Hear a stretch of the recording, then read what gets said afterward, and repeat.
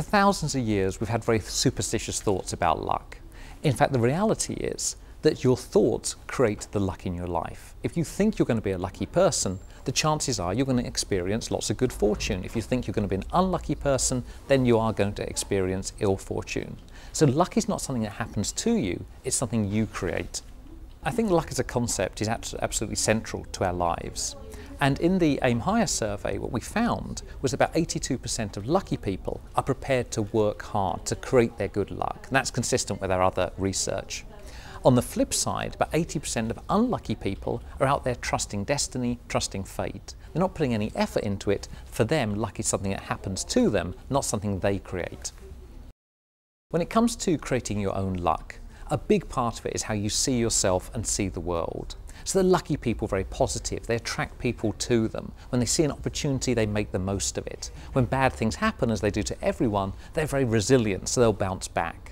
The unlucky people tend to be very fatalistic. They're convinced that they're going to experience bad luck. So they think, well, you know, I'm going to fail the exam or the job interview is not going to go well, so there's no point in preparing. And because that becomes a, a self-fulfilling prophecy. So you can see there's a psychology where people create their own good and bad luck.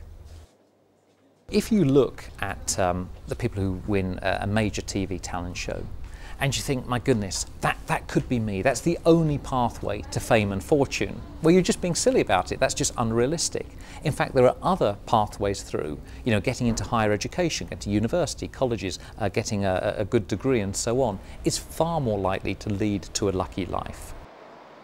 Obviously, you have to push for things, can't just rely on luck. You have to further your ambitions by being proactive, I think, not just rely on good fortune.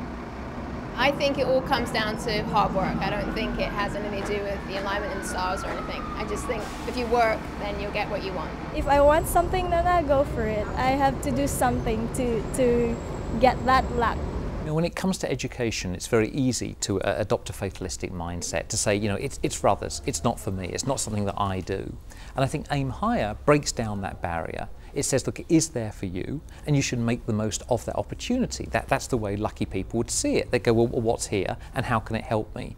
And I, I think the Aim Higher campaign really breaks those, down those barriers, and it allows people access to these opportunities.